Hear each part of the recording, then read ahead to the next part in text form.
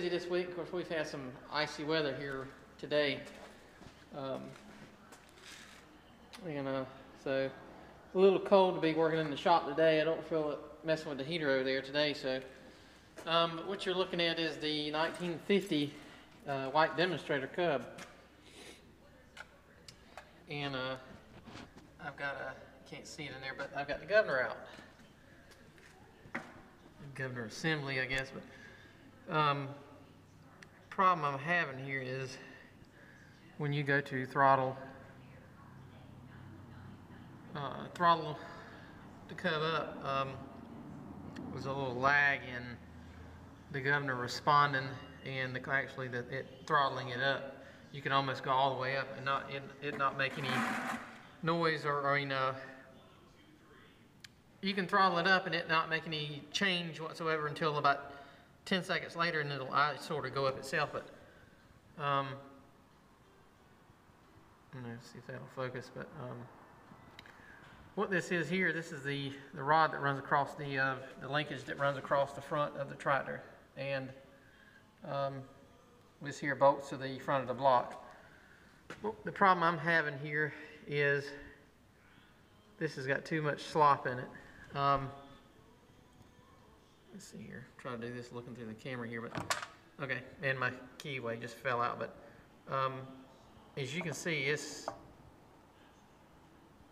it's got quite a bit of slop in it. So what I'm going to have to do is either find another. I don't think the rod here is worn. I actually think it's this piece here um, that's worn.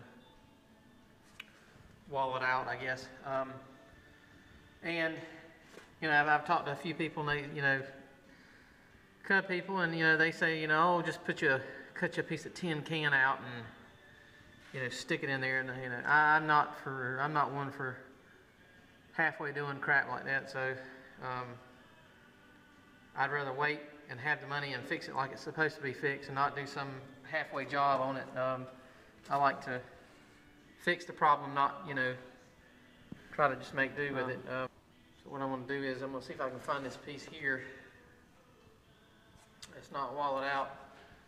Um, I thought about having it, you know, welded up and, and you know, somebody machine it out, and um, but you know that'll cost more than the piece is worth. So what I'm to do is go to a local salvage yard, probably uh, a good friend of mine, DeFore Tractor Parts in Nashville, North Carolina. I'll probably go to him and um, I know he's got several cubs in there, and I'll go and uh, see if I can find one that'll work. But um, and I hate to you know replace parts on the the Cub here, but it uh something's got to be done because it can't it can't operate it like it is, so it's not responding well and causing the carburetor not to, to either load up and and flood itself out if you go down too far and um, it's not responding correctly. But nothing's wrong with the governor on the inside. Um, that's all fine.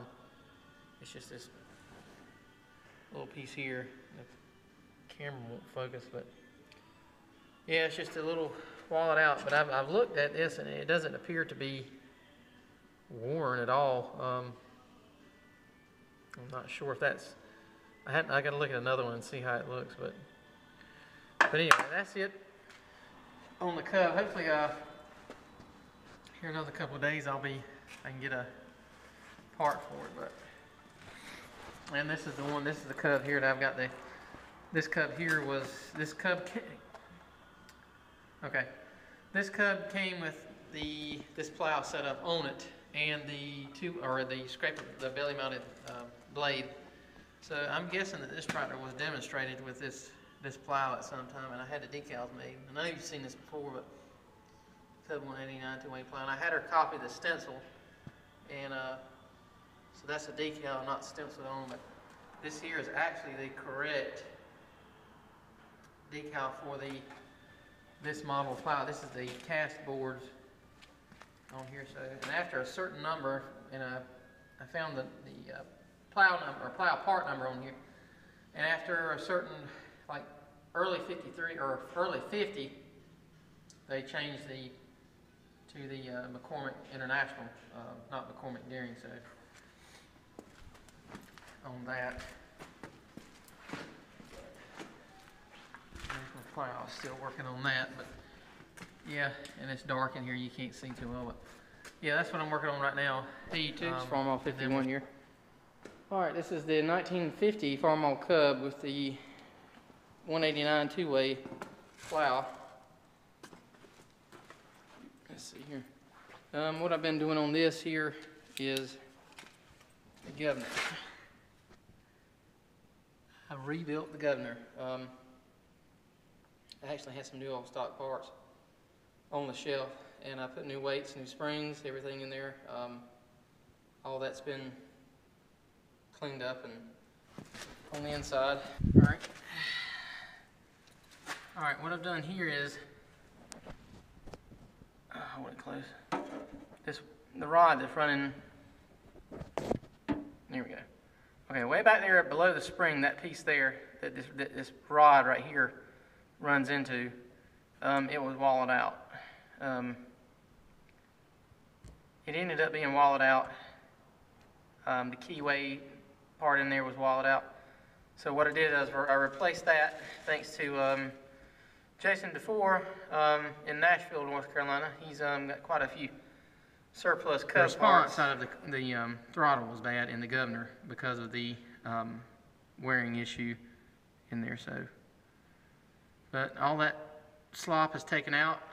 Um, We've got good response um, here, and I'm, not today, but um, I'm gonna get this cub out here and I'm gonna do some plowing with it, because I may take this to plow day also. Because I really want to try my 189 plow out some, but. So, but, um, yeah, thanks to, thanks to DeFore Tractor Parts.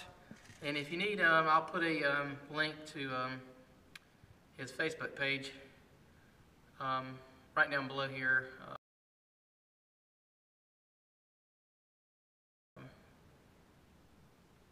And, um, you, you can, um, contact him if you need any parts or he'll, he'll be glad to help you. And he's a, he's a good guy. I like him and, um, like dealing with him. So, um, and you can see, you can definitely tell this is a white demonstrator cub. Let's see.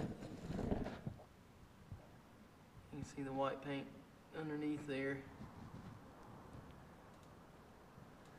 Um, but yeah, this cub is, other than that, that's, the- that's the only problem I've had. And on that cub there, I've got a Zenith carburetor and manifold that will give it, um, probably right upwards of 15 horsepower, 14, 15 horsepower. So, um, we're close to it anyway.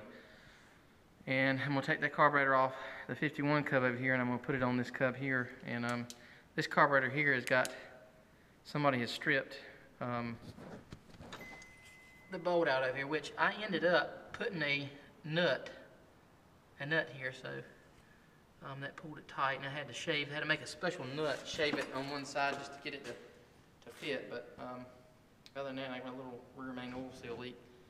And uh, other than that, this is good to go. Um, I'm waiting. I would start it now, but I've got my uh, gasket sealer on the um, governor on the other side there.